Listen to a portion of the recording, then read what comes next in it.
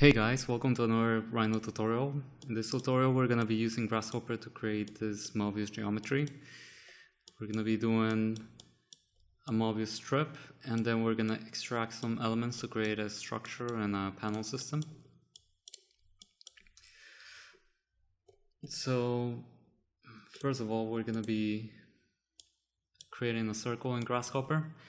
The way that I bring up the, the nodes is by double clicking and just type in the name of the node that I'm going to be using.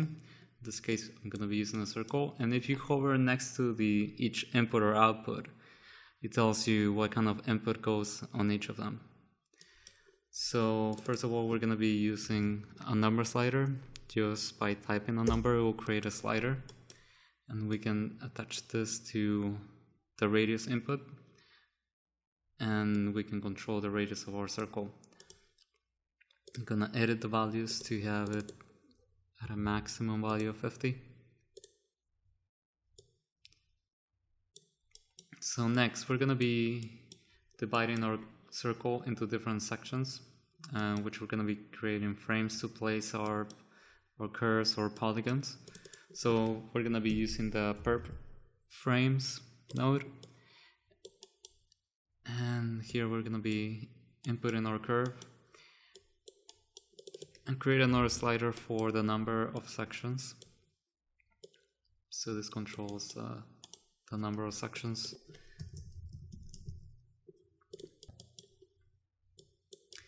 And then we're gonna be placing some geometry curves or polygons into each of the perp frames. So we're gonna be using the polygon node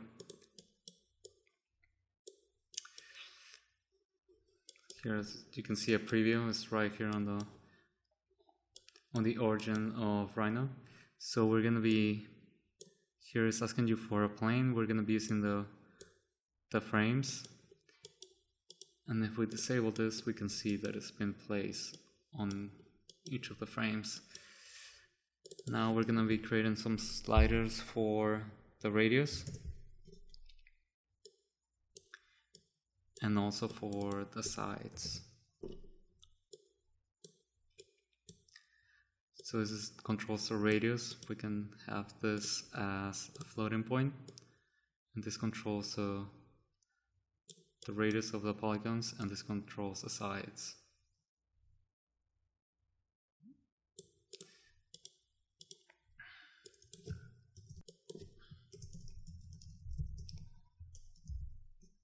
It's always a good practice to name your sliders so you know what each of them does.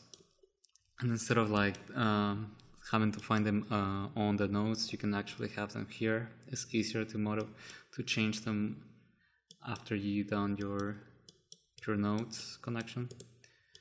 So now we need to rotate each polygon uh, increasingly until it gets 360 degrees. So for that, we're going to be using a rotation node. We're going to input our geometry. And also here, we're going to input our degrees. Uh, right now, it's asking for radians. You can just change the input to degrees. And if we put a number, you'll see that, uh, oh, and also you need to attach the, the p-frames so it has the uh, the base plane to rotate it from. You can see that it's just by putting a slider on the angle is rotating them all on the same the same degree. And what we need is to be increasingly rotating. So for this we're going to be using the series node. And this creates uh, a series of numbers that are constantly increasing at a constant rate. So for this, we are gonna be using the, um, we're gonna be creating a number node for the 360 degrees. So we're gonna set this number to 360.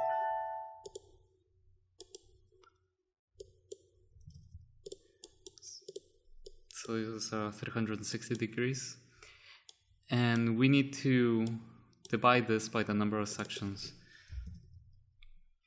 So we're going to be using the division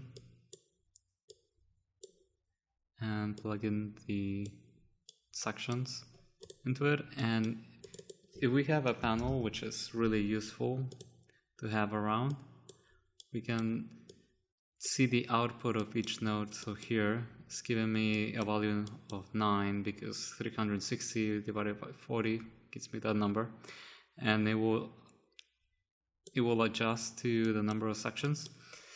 So here we can input this into the step number, which is we have it here in the series, is increasing at 9 degrees. And we need to put the count of the output, which is the number of sections. And if we see, we have 40 numbers if you include the zero, the zero line as the number of sections. And if we input this on the angles, we'll have the rotation on on each of the polygons. Now we can go ahead and loft this.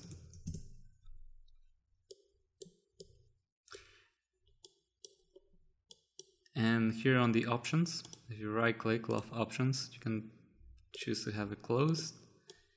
And there you have your Mobius strip. Now we can also increase the rotations or the revolutions of the strip.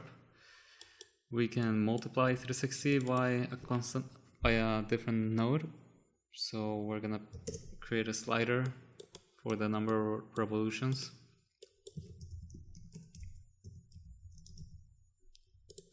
We're gonna be using the multiply or the multiplication node. We're gonna be inputting these two numbers and replacing them on the division. So we can increase the number of revolutions or to have none. And we can adjust all these values easily.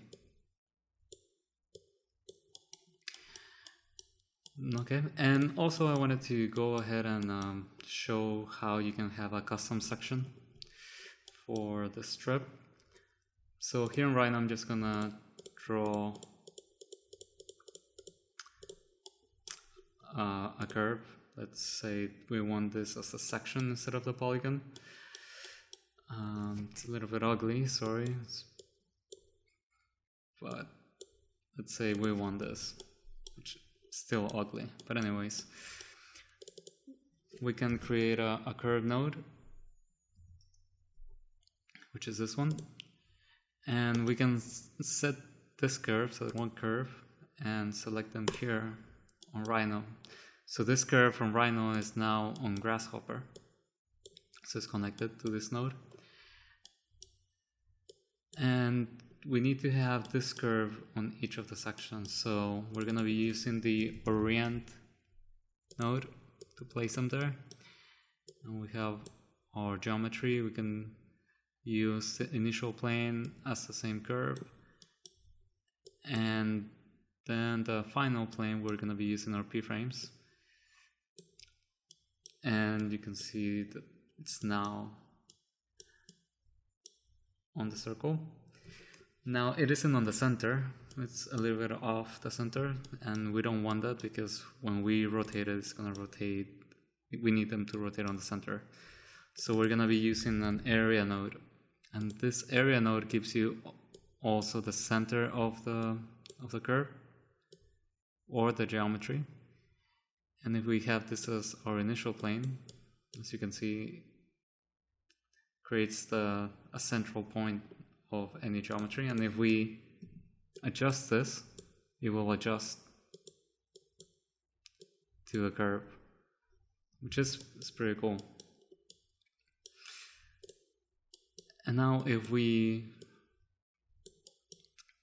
plug this in instead of the polygons we replace them we'll see that uh, our custom section has been applied to the strip and right now it looks really looks really bad quality and it is because uh, Grasshopper is just using it is because Grasshopper just explained the lowest quality to save some uh, memory and also processing power.